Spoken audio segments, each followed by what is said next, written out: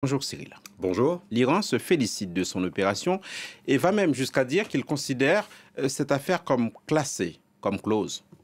Oui, ben là on, a, on, est, on assiste à deux narratifs, hein, des deux ennemis euh, ancestraux, l'Israël et, l'Iran. L'Iran, effectivement, vous le disiez, par la voix de ses délégations aux Nations Unies assez vite, en fait, hein, à l'aube euh, ce, ce, matin, qui parle d'affaires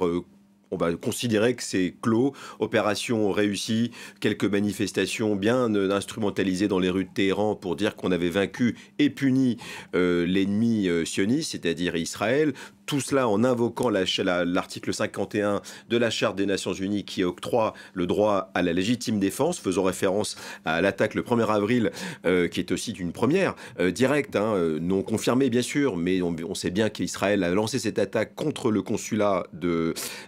syrien à, Damas, tuant deux généraux euh, des gardiens de la, de la révolution. Donc ce n'était pas rien. Donc affaire close. Nous avons puni euh, l'agresseur et du côté israélien, autre narratif aussi, nous avons déjoué cette attaque iranienne, elle-même inédite dans sa violence, dans son ampleur et dans un contexte extrêmement volatile, en déjouant, en repoussant pardon 99% euh, des, des, des tirs de drones et de missiles, ces tirs de drones et de missiles qui avaient largement été anticipables puisqu'on a vu quand même que Téhéran a largement euh, joué euh, pour expliquer que ces drones partaient, ne partaient pas très très vite. On, a vécu ça en direct toute la nuit. Euh, et puis l'allié américain inconditionnel de militaire d'Israël qui affirme aussi par la voix du Pentagone que sur les ordres directs du président Joe Biden, eh bien un certain nombre de missiles et de drones également ont été, mais un grand nombre, ont été abattus en provenance de par les forces américaines, pardon, au Proche-Orient, en provenance de tous les FID, les proxys,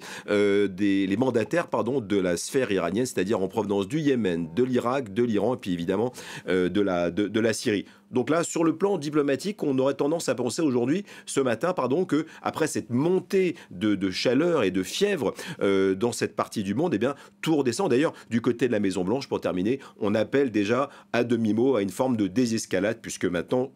ce à quoi, ce qui est dans tous les esprits, c'est la réponse israélienne, c'est la réponse de Benjamin Netanyahu à cette attaque inédite euh, de l'Iran.